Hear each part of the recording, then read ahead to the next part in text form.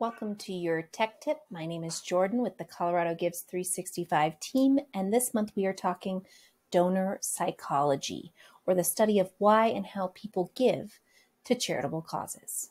Make sure to join us for our webinar later on this month. Today we are talking about two concepts related to donor psychology. The first is commitment. So, the idea that a donor will uphold their commitment in order to preserve their own self image. So leverage this. Ask folks to commit. Of course, we think about the idea of recurring donations. So folks can set up monthly recurring donations with ease on Colorado Gives. Um, but I challenge you to go past that concept. How else have people committed to you in the past? Maybe they created a fundraiser page for a different campaign last year. Ask them to take that action again. What areas can you improve or boost your online donations by asking folks to recommit in 2023?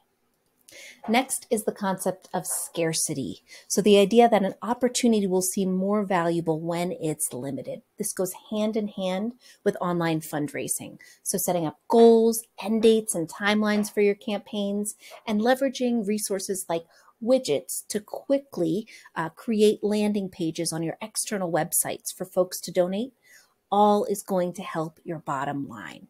Let's take a look at the widget functionality. We are logged in as an admin of an organization page. We are under fundraising tools, widgets. Here is a free tool that you must have.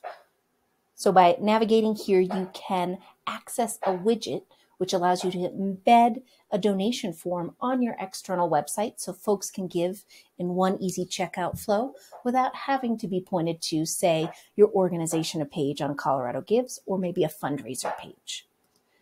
You can select the type of widget, a donation form, a donate button, a thumbnail. Today we'll take a look at a mini donation form. In three clicks, you can select your donation level, select if it's a recurring gift, select donate, add in your basic info and your details for credit card processing. And that is it. Donors can donate in one fell swoop by embedding this little form on any of your campaign pages on your external website. You can customize this so the look and feel is exactly what you want for your external website and you're just generating code and copy pasting that code. This is important with the concept of scarcity um, because sometimes you need to quickly roll out different campaigns in a timely fashion. And so this gives you the ability to quickly, from your external website, ask folks to give and have those donations all go through the central place of coloradogives.org. I hope this was helpful. We look forward to seeing you at our webinar later on this month. Have a great day.